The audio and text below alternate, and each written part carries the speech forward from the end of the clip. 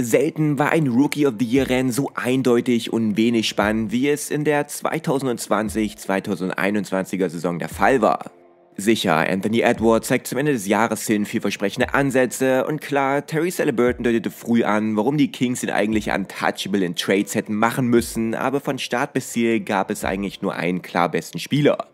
Dieser hört auf den Namen LaMelo Ball, der jüngste der Ball Family und der klar beste Rookie in jener Saison damals.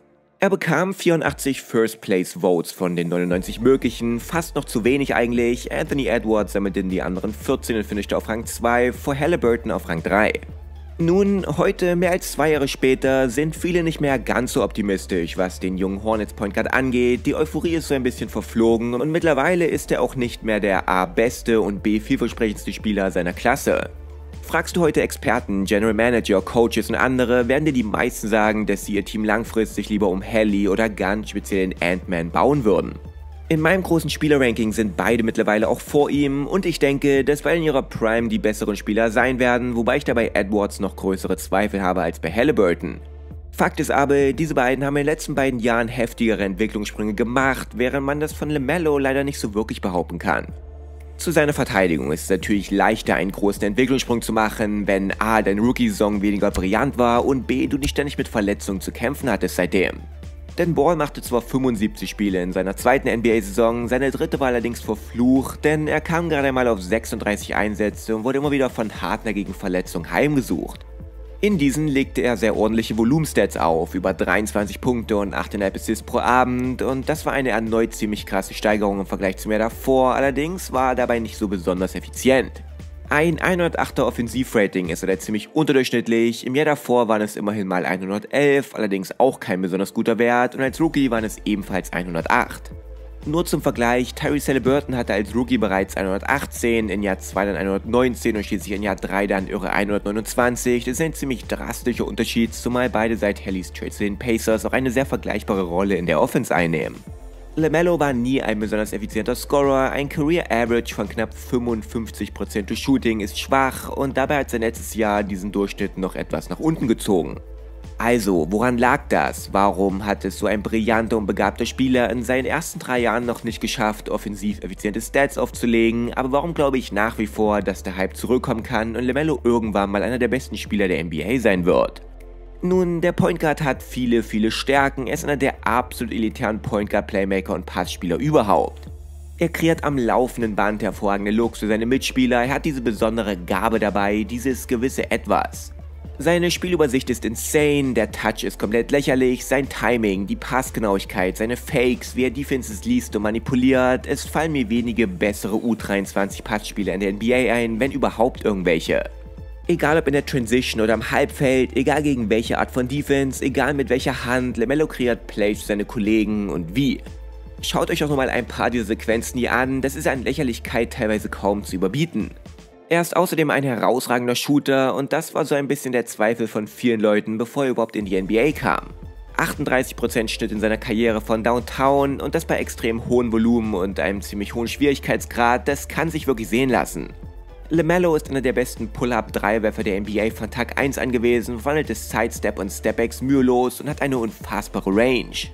Wenn vor dem Draft damals jemand gesagt hätte, dass Ball in seinen ersten drei Jahren eher ineffizient wäre als Scorer, dann hätten wahrscheinlich alle vermutet, dass es an seinem Dreier liegen könnte und das ist halt aber überhaupt nicht so. Es ist daher fast schon etwas erschreckend, dass er trotz diesen fantastischen Quoten so große Probleme hat. Das geht alles damit los, dass Ball kein besonders guter Finisher am Korb ist.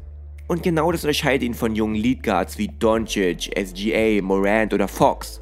Bei Spielern wie Halliburton, Garland oder Young ist es jetzt auch nicht unbedingt eine riesige Stärke, aber dass es so eine krasse Schwäche ist, ist halt eben auch nicht so. Um fair zu sein, zumindest eine statistisch kleine Improvement zu erkennen. Als Rookie waren es noch 56% Field Goal Percentage in der Restricted Area, in Jahr 258 und zuletzt 59%, aber da ist noch sehr viel Verbesserungsraum. Das geht alles damit los, dass er einfach nicht häufig genug zum Korb kommt, weil er nicht den schnellen ersten Schritt hat und nicht einfach explosiv an Defender vorbeiziehen kann, so wie es ein Darren Fox oder Ja beispielsweise kann. Er kann sie auch nicht physisch überpowern wie ein Luka Doncic und er hat nicht diese Shiftiness, die Moves und das Ballhandling eines Che Gilgis. Ich würde nicht unbedingt sagen, dass Ball physisch kräftiger und stärker werden muss, er stand in Berlin direkt neben mir, der Dude ist nicht dünn. Aber er muss zwangsweise besser daran werden, seinen Körper geschickter einzusetzen und das Maximum aus seinen physischen Möglichkeiten rauszuholen. Wann suche ich den Körperkontakt, an welcher Stelle suche ich ihn? Viele Spieler können das nicht so gut und LeMelo gehört da in meinen Augen absolut mit dazu. Oft sucht er gar nicht erst irgendwelche Kontakt oder er sucht ihn nicht optimal, wodurch er komplett seine Balance und Kontrolle verliert und das zu wilden Abschlüssen führt und er dazu gezwungen ist. Das Nummer 1 Team muss es in meinen Augen sein, zu mehr hochprozentigen Abschlüssen direkt am Korb zu kommen. Da sind natürlich auch seine Hornets in der Pflicht, mit besserem Spacing und guten Looks durch das offensive System kreiert, aber das geht alles bei LaMelo direkt selber los. Er ist einer der besten Ballhandling Point Guards der NBA, aber da müssen mehr Moves speziell nah am Korb her beim Gathern in Sachen Spin Moves, Eurosteps, Dropsteps und so weiter.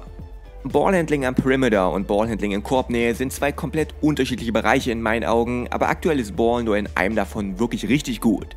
Das sah man alles auch wieder in der Preseason, der ich natürlich nicht allzu viel Wert geben möchte, aber es war interessant zu sehen, wie LeMelo nach dieser langen Sommerpause aussah. Und ein paar dieser Schwächen sind wenig überraschend immer noch klar sichtbar, er zieht einfach nicht gerne zum Korb, um dort dann den Abschluss zu suchen. Mir kommt es manchmal so vor, als würde er am liebsten die ganze Zeit nur Dreier werfen und passen und das war's dann. Mello hat nach wie vor riesige Probleme bei seinen Drives und Finishes mit Links, keine Jalen Brown-like Probleme, aber man sieht schon teilweise sehr stark, dass er dabei nicht 100% komfortabel ist. Aber seine Probleme hören dabei gar nicht auf, generell ist er kein guter Scorer innerhalb der Dreierlinie.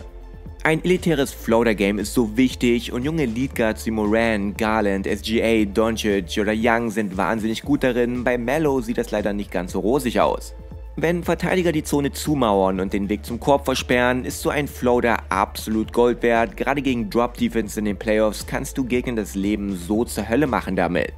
Vielseitigkeit und Unberechenbarkeit sind die Schlüssel, um eine erfolgreiche erste Option zu sein und da gehören eben nicht nur Dreier und Layups dazu, sondern auch ein gutes Game aus der kurzen Midrange. Und wenn wir gerade dabei sind, auch ein Game aus der langen Midrange natürlich. Fakt ist, einen guten Midrange-Wurf zu haben, hat noch niemandem geschadet. Niemand will, dass Mello statt all diesen Dreiern jetzt einmal lange Zweier nimmt, trotzdem soll diese zumindest im Arsenal haben. Wenn Verteidiger wissen, dass du nicht aus der Midrange werfen wirst, weil du es nicht kannst, dann wirst du unberechenbar für sie und das möchte man eben nicht. Wenn du nicht komfortabel bist, innerhalb der Dreierlinie den Abschluss zu suchen, dann hast du ein Problem. Es geht darum, freie Räume in der Defense zu attackieren, in diese Spot zu kommen, Lücken zu sehen und auszunutzen und manchmal sind diese Räume eben in der ungeliebten Mitteldistanz, du kannst diesen Bereich aber nicht komplett ignorieren. Und manchmal läuft die Shotclock runter und du musst vielleicht einfach aus dem Match aktiv werden, da ist es schlecht, wenn du das überhaupt nicht kannst. 41, 37 bzw. 40% aus der langen Mitteldistanz bei geringem Volumen in seinen ersten drei Jahren müssen gesteigert werden und das gilt auch für den letzten Bereich hier und heute, an dem LeMelo arbeiten muss, und zwar seinen Turnovern. Mello produziert einfach zu viele Ballverluste und auch das drückt so ein O-Rating eben ziemlich nach unten. Da mache ich mir langfristig aber wirklich die wenigsten Sorgen. Junge Point Guards, gerade so verspielte und experimentierfreudige, neigen früh in ihrer Karriere häufig zu vielen Ballverlusten, aber auch da hoffe ich bereits in der kommenden Saison auf einen großen Entwicklungssprung. Also, LaMelo Ball, du hast einiges zu beweisen in der kommenden Saison, let's go! Schreibt mir gerne mal unten in die Kommentare, was ihr mittlerweile von ihm haltet und ob ihr denkt, dass er wieder zu einem der besten Jungtalente der NBA werden kann. Danke fürs Anschauen, bis zum nächsten Mal und macht's gut.